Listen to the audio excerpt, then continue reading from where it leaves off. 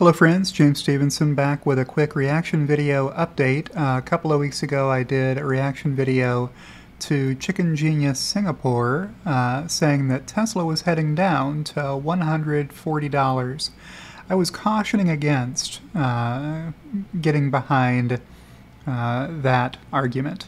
So let's share our update with you. Uh, first let's check in on Loki. There he is in his dog bed curled up with his animals, uh, enjoying some shut-eye. And here is, you can keep an eye on Loki there as he gets more comfortable. Uh, here's uh, what you missed on October 3rd. Uh, tweet from Ken, target of Tesla, 420 pre-split, 120 to 140 still in play. Uh, patience, ignore the noise, trolls, and toxic bulls. Well, I'm, I'm not trying to be a toxic bull. I'm not here to drag you, Ken. Just uh, trying to give the people an update on how things have gone. Did we get the 120 to 140 uh, where you were hoping to buy back after closing out your short positions? Well, let's check the chart and see. So here was October 3rd. The stock price did come down, but it did not come down to 140 or to 120 or to anything approximating either of those. Here on October 14th, it was down to 204. On October 20th, it was 207. Like intraday, it got down to 198 for a hot minute, and then that got snapped up, and it's been trading above 200 the rest of the time. Uh, so let's get some further updates here from the Chicken Genius timeline. Uh, I'm not going to read that one or that one. Let's see what we got here. Okay, Tesla Bulls. Tesla is at levels you can start to dollar cost average. So that means to buy in. So October 17th, let's see what the uh, price was there. So October 17th was here. So Tesla about 219 uh, on the 17th when uh, Chicken said uh, start buying in your uh, your Tesla again, Tesla Bulls. Uh, risk $140, reward $300. So, you know, Ken is a trader. He's uh, just trying to throw out some numbers there. Uh, favors an entry, don't go all in, as my SPY target is still 320. Okay, it's the S&P 500 he thought would go lower than that.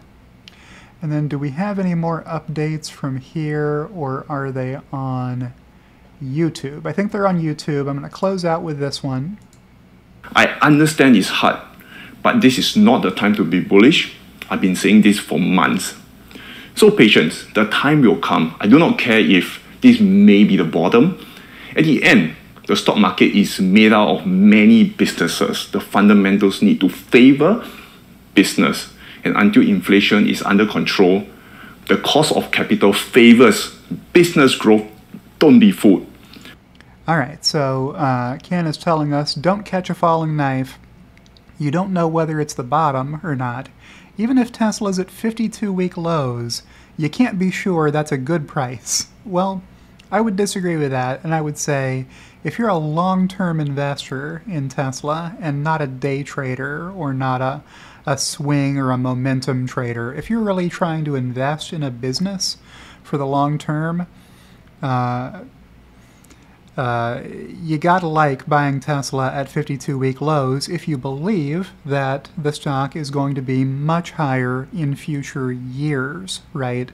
If you think next year, the year after that, the year after that, Tesla's going to have a valuation measured in the trillions, which is what Elon Musk, the CEO, told us he believes, then what you want to do is buy the stock when it's still less than 1 trillion and hodl to the trillions, right? All right, so that's my video for this week. Let's check back in on Loki, where he is snoozing and snoring. And I will say if you enjoyed today's video, click the like button, and if you're not subscribed to my channel already, you could go ahead and subscribe to my channel. Um, my, my content is always free on Twitter and on YouTube, but if you find my content valuable and would like to support me, there's ways to do that in the video description linked to support me through Patreon or by joining my channel, as Kathy Kitchler did at the top tier support level where she gets thanked at the end of every video as an executive producer. And I will see you in the next one.